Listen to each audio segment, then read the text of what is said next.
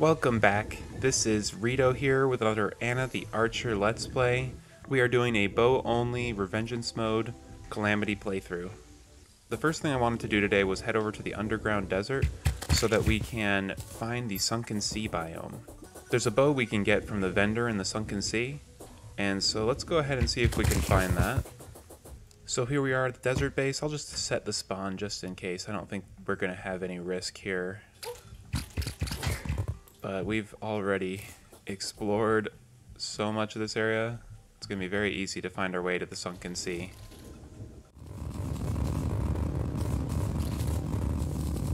Wow, that's a lot of desert fossils. Yeah, vein miner on desert fossil is awesome.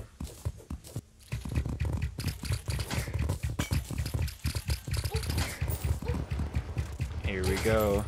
it's a whole different game down here now that we've got upgraded items. Nothing stands a chance. Feels good to not be afraid in this biome anymore.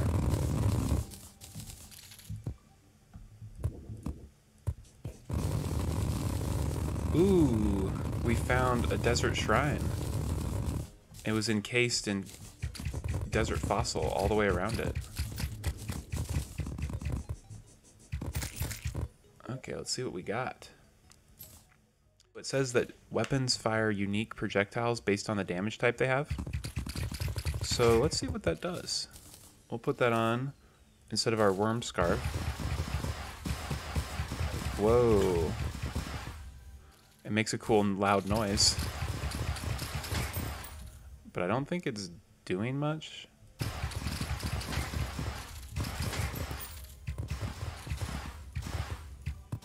Yeah, so it's shooting like a little lightning bolt. Interesting. Wow, I'm shooting so much stuff out of this weapon now. I'm not sure if I'm really all that interested in using it. I think it could be really cool for like a melee weapon if, if it made every melee weapon shoot something. Yeah, for now, I think I'm going to just go with my worm scarf since I don't really like that loud noise, and it doesn't seem to be doing too much damage.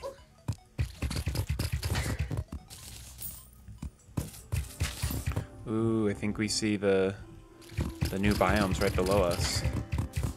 So I'm going to equip this ocean crest that will give me underwater breathing. That way we don't have to worry. But I've always wanted there to be more to the ocean in the game, and there really isn't the space, which is why I've never like the Abyss, I think, is a great addition, but like just the actual ocean, always wanted there to be more. But this really gives you that option to explore more of this sort of ocean biome in a place that's usually not utilized at all. Ooh, I think we just found one of the clams. These break from attacks. That's much easier. I thought we had to mine them. Oh, like, I think we're looking for not just a clam, but a giant clam. Once when we kill a giant clam, it unlocks a new NPC, and that NPC sells a cool bow. So I wanted to unlock it. It's probably not going to be an upgrade over this, um, what is this bow called? The Gale Force bow? Because the Gale Force bow is just incredibly strong. So I doubt it's going to be an upgrade. But still, I want to collect all the bows I can in the game just to try out, especially the modded ones. I really want to get all the modded bows, try all those out. Ooh, there's the giant clam. And we got plenty of space to fight them, so this is good.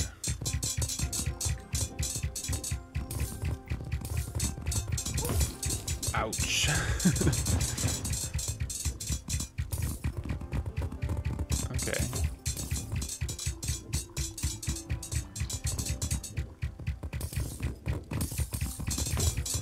that's a simple attack pattern. As long as you've got some space, it's easy to dodge once when you know what it's doing. And we found... I think we found an accessory. Periodically rains down prism shards. Nice. So I think this over here seems to be like a material inside of this big orb. So I kind of want to mine down and see if we can mine it yet.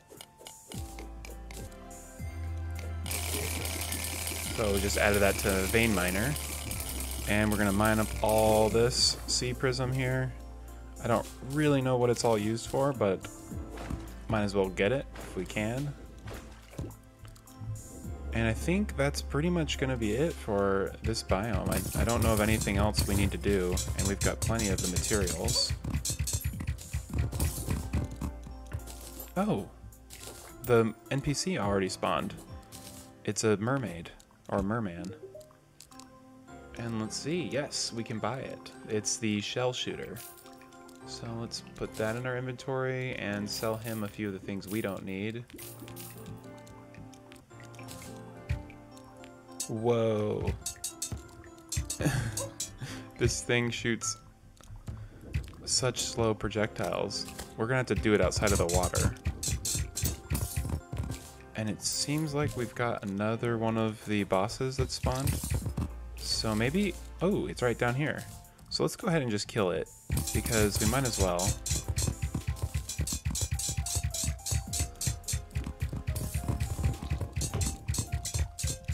And we're right by this big open area anyways, so that'll be easy.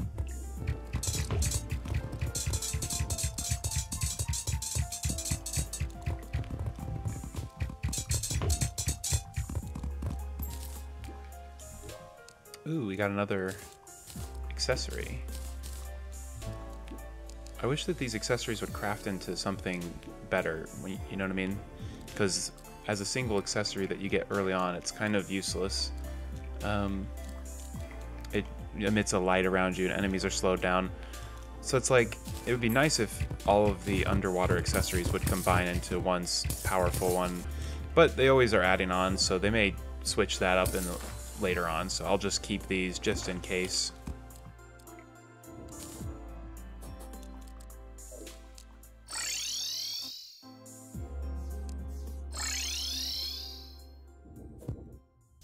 Okay, so this uh, shell shooter bow shoots a really slow projectile, but it seems to do a ton of damage. If if I got this really early on in the game, this is this would actually be really good, and it pierces. Wow, it's actually kind of cool. Even at this point in the game, I think you can get this right after the Desert Scourge, which, if I got it right after the Desert Scourge, it would be really powerful. I might even just reforge it right now. This might be a good item to have in the dungeon when there's tons of enemies stacked on each other. I can just shoot this right into the middle of them and it will pierce through all of them. So we've arrived at the dungeon and it's time to jump right in and get some good loot.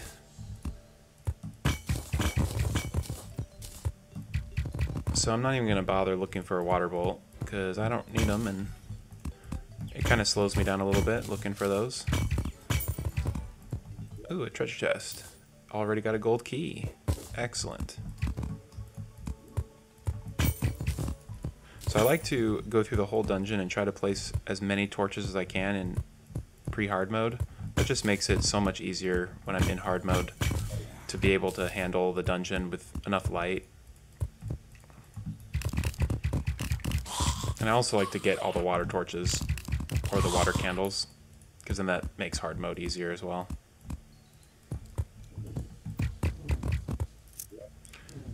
Muramasa. Ooh, and we found the mechanic already. Nice. Break this trap right here.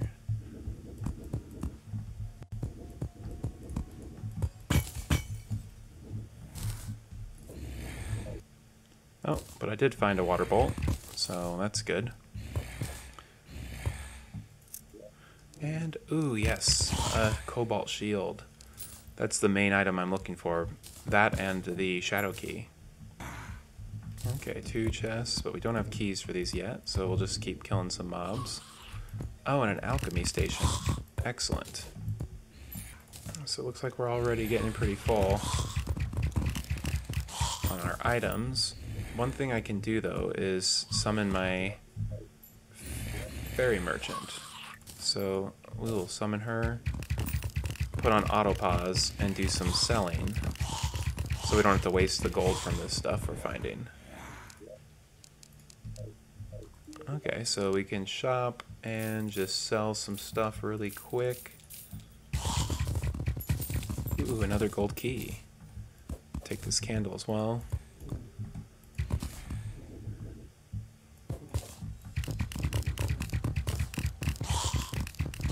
Oh, and I see a trap right here.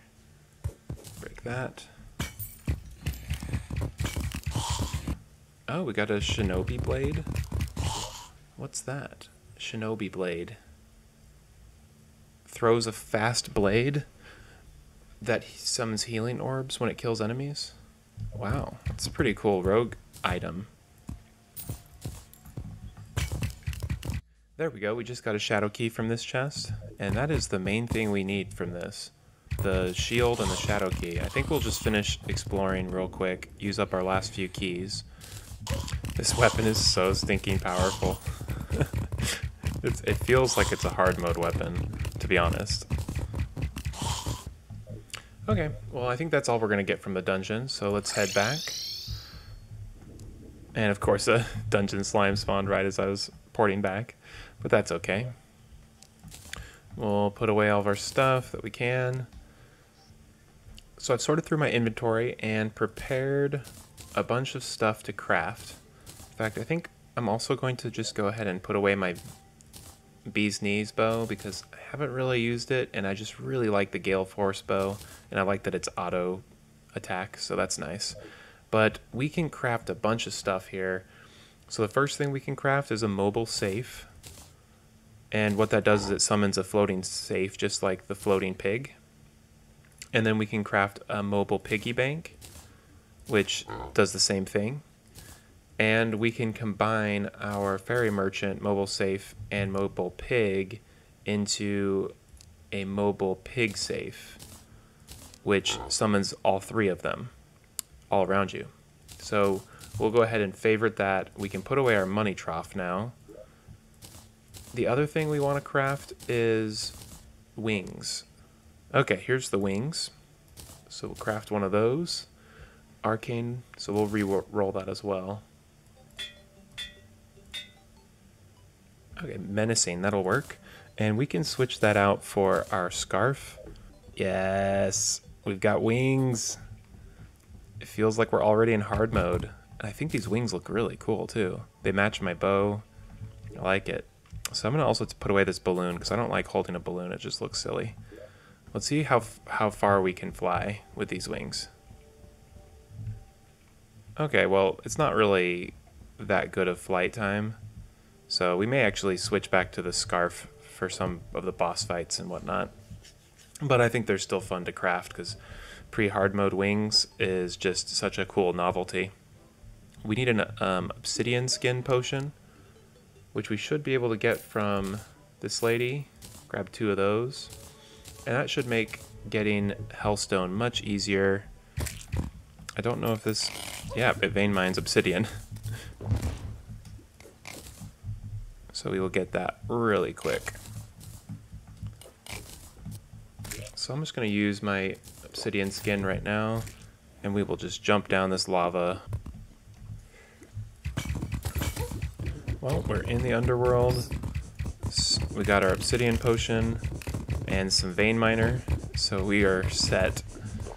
Although we're taking some damage from these mobs. Whoa! What is that? weapon. That was a huge weapon. Um, I'm gonna have to check that out in just a little bit. I don't have auto pause on, so I really want to get as much of this ore as we can. So my first few playthroughs, I didn't know about this trick of using this potion. and now that I do, it's just such an improved experience.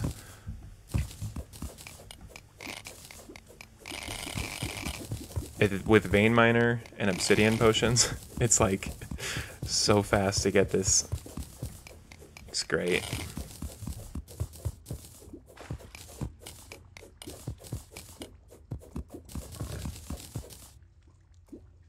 And then you add our drill on top of it, and that drill can help us get around. But it can't actually mine hellstone. That's good. So I was wondering if the drill would allow you to completely bypass certain parts of the game. by allowing you to mine hellstone like the Reaver Shark, but it actually can't, so that's good.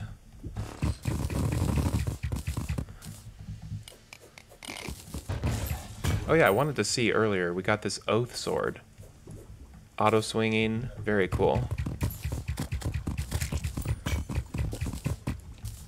Okay, nothing down here. Oh, Forceful Sun Fury. Okay, that's good. Not the best, but we'll keep going.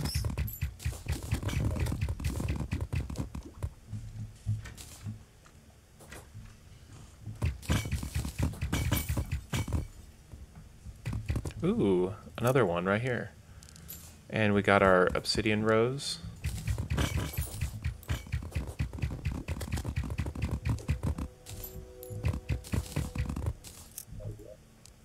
Yes, here we go. We got the Hellwing bow. That's what we're looking for. Perfect. I think we're good now for the underworld. Go ahead and just loot these last things. And I've got 42 seconds left. So I'll grab a little bit more Hellstone just because we can and it's fun. And then we're to go head up and we can do some crafting. Perfect. Two potions was just enough.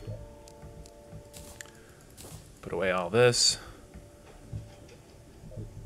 So I want to see the Hellwing bow can actually be upgraded early hard mode with Essence of Sunlight and turn into the Flare Wing bow. So I'm really excited to see what that does. I don't think I've ever used it or ever seen it. And then we can replace this forge with a Hell Forge. And let's sell some of our stuff real quick.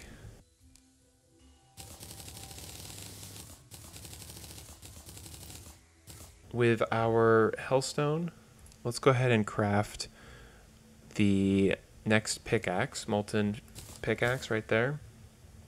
And then we need to craft molten fury. And I think the last thing we need is an obsidian skull, which we can combine with our shield over here and get an obsidian shield. So molten fury, what I'm looking to do is create the next bow, which combines the Demon Bow, Bee's Knees, Molten Fury, and Purified Gel, which means we will need to defeat the Slime God in order to craft this bow, the Lunarian Bow. So I don't think I'm going to actually use Molten Fury, but I'm going to need it so I can craft that one. So I'll go ahead and just put that away right here. And we'll swap out the pickaxe since we got a better one. There we go, warding. That'll work. And I may put that on over my wings for now, because I don't think the wings are really going to be that useful. I think that'll be where we end our episode for today. We unlocked the NPC for the ocean and got this cool new piercing bow that shoots these spikes. We also got our molten pickaxe, so we still need to kill Crabulon, which will be super easy. Um, we also have the old one's army, which we may end up having a chance to defeat as well. I'm not sure. We can try that out. We've got the NPC for it, and then the Slime God. So that'll be some of the stuff we'll be taking on next episode, preparing for hard mode. I hope you enjoyed this video, and if you did, be sure to like and subscribe so you don't miss the next one. And I will see you next time.